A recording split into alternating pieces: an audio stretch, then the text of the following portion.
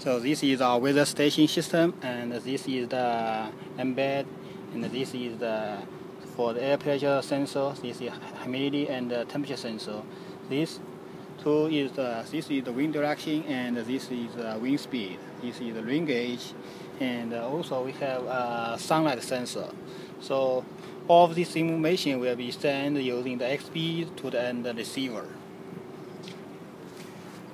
On the receiver portion of the system, we have an LCD, uh, a piezo speaker, uh, the receiving XBee module, the mbed, of course, and a weatherband radio breakout board.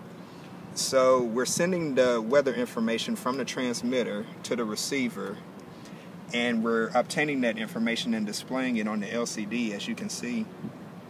And if there's an alert, which we're measuring for wind speed, temperature, humidity, air pressure, uh, rain rates, and we can actually simulate the wind speed gusts. And once we reach a certain threshold, we're going to sound an alert, which is going to activate our radio, as you will soon see.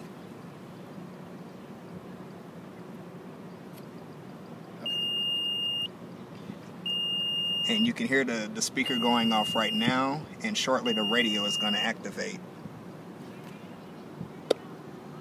Shower chance. Though please monitor the latest forecast for any changes.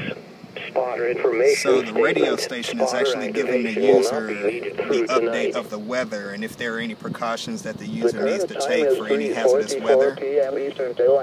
In order to turn off the radio, the user needs to acknowledge that they've received the alert, and we're doing this by simply resetting the mbed.